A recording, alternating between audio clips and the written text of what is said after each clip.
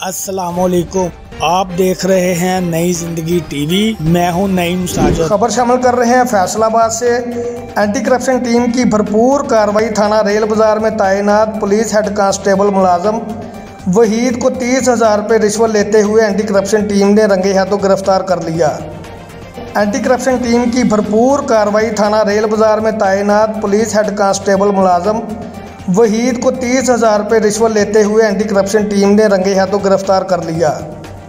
Anti corruption team की भरपूर कार्रवाई थाना रेल बाज़ार में तैनात पुलिस हेड कांस्टेबल मुलाजम वहीद को तीस हज़ार रुपये रिश्वत लेते हुए एंटी करप्शन टीम ने रंगे हाथों गिरफ़्तार कर लिया।